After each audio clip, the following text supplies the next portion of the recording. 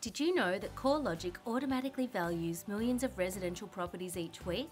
Leveraging the most comprehensive property data to determine an accurate estimate of the value of a property, CoreLogic offers a suite of automated valuation models to assist mortgage and real estate professionals streamline their workflow and portfolio management.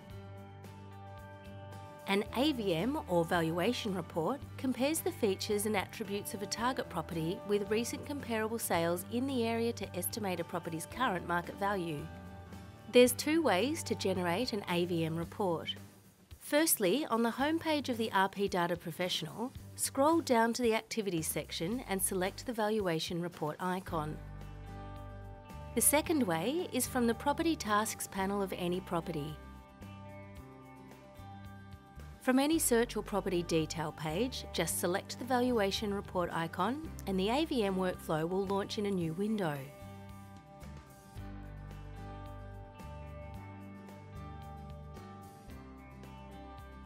Check that the attributes are correct and select I confirm the attributes are correct and then click Get AVM.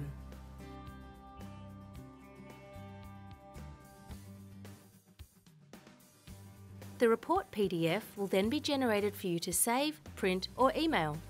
The report is CoreLogic branded as it represents an independent third-party opinion. It's a great report to help position buyers and vendors with potential selling price of a property. Find out how to get the most out of CoreLogic products with more training options from CoreLogic Academy.